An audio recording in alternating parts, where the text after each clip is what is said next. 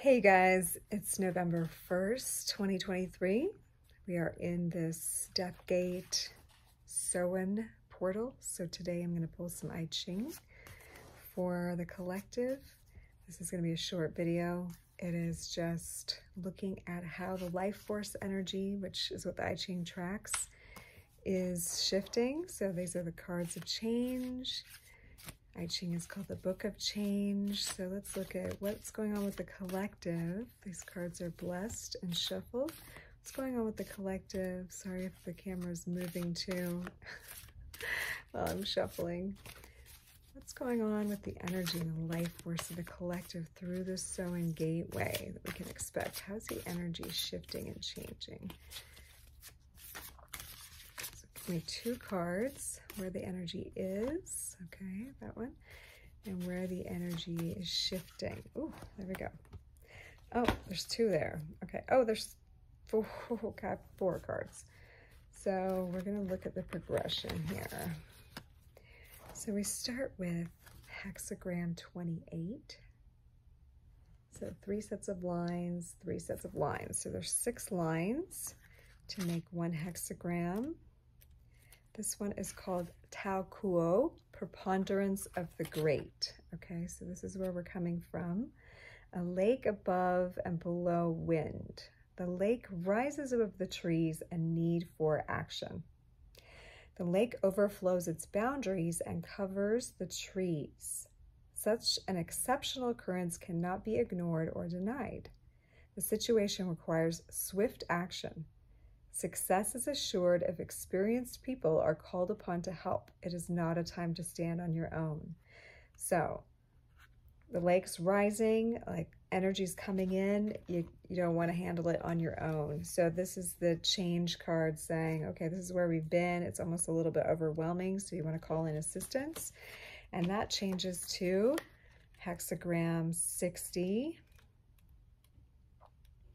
This one is chia, chia limitation. So we've got water above and lake below. Rain over the lake, respecting limits. Okay, the lake is defined by its limitations. It is contained and finite in its dimensions. Water above the lake is limitless as rain may continue to fall long after the lake boundaries have flooded over. Kindness depends on respecting the limitations of others and not assuming they can handle whatever one pours forth. Civilization depends on respecting the limits of propriety and social mores. Proceed with care. So we had this, you know, preponderance of the great. It's kind of overflowing. We need help, but we want to respect the limits of others. So there is a little change point there. And then we move to 30, hexagram 30. Hexagram 30 is Li, the clinging. And as you can see, it's double fire. So fire above, fire below. Fire upon fire. Feeding the inner flames is this one. Fire will not burn on its own, but must cling to the fuel that feeds it. So too does the superior person seek fuel to feed the spiritual fire, lest it burn out from neglect. As the flame within grows brighter, it adds its light to the world and improves it. Clinging to what is true and right brings good fortune.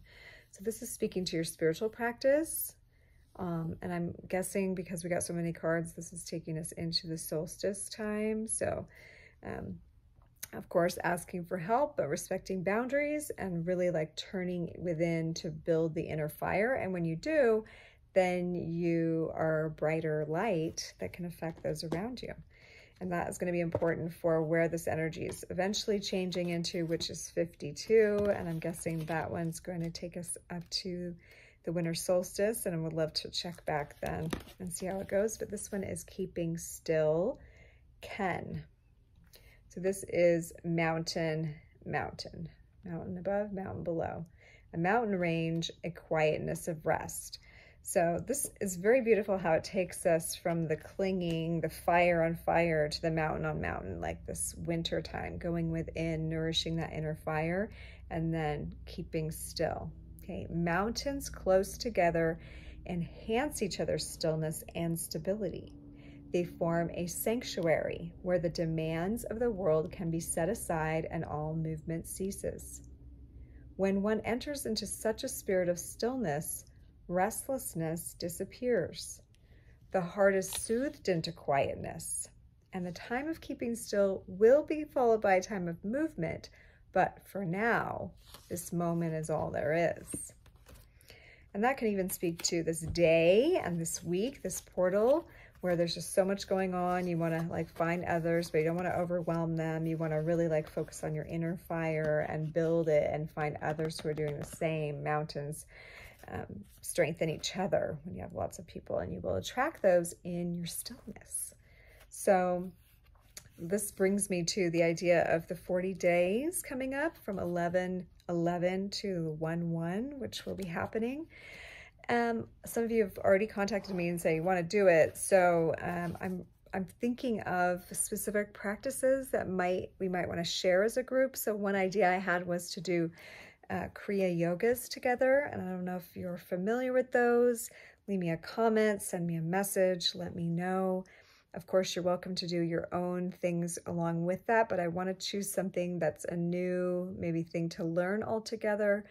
Um, something that I've learned that I want to share that other people want to do that we can all be doing collectively. Because remember, like building that inner fire, growing brighter, sharing it with those around. The many mountains are holding like this this beautiful range of power. So that's what this energy is saying. Like there's a lot of energy coming in, but it is overwhelming for some. So we want to find like-minded people and we want to not overwhelm. So we want to come in like-minded groups together. So that's the idea of the 40 days every year at this particularly potent time that goes through the gateways of the 1111, the 1212, the 1221 and the 1 1. Such a powerful time. And of course, we have the Christmas holiday and Hanukkah's in there, and we just have like a mesh of really powerful time and energy. So definitely let me know if you are wanting to do that. I'm organizing the details of that now, and we have 10 days before that launch. So over the next 10 days, we'll do a countdown to it. Uh, look for a newsletter, and if you're not already subscribed, then go to my website, blissinthehouse.com, and get on the newsletter. Okay, thank you. And tomorrow we will be celebrating the Day of the Dead. So it's a beautiful time to pull out pictures of those who've passed, to set up a beautiful altar for them, to tune into the ancestors if you would like to do any ancestral healing or divination. This is the three-day window that's really potent for that. So give me a text message or if you already have my text or an email, stasiabliss at gmail. And divination is always by donation. So let me know if you would like to do any of that. And I will see you in the next video. And I have been posting with um, my Army Ranger friend Jake some videos. We're talking about yoga. Uh, we just posted a shorty on, we're looking for what you guys want us to talk about. In the meantime, we're just kind of hitting different yoga subjects. So let me know how you feel about that. I would love some feedback. We're kind of like just working into a groove together, figuring out what the best um, flow is. Um, I'm seeing it as a masculine, feminine healing for the collective because there are some some different um, ways of looking at things that we're trying to bring together um, into some kind of common human unity. So thanks for watching and we'll catch you next time.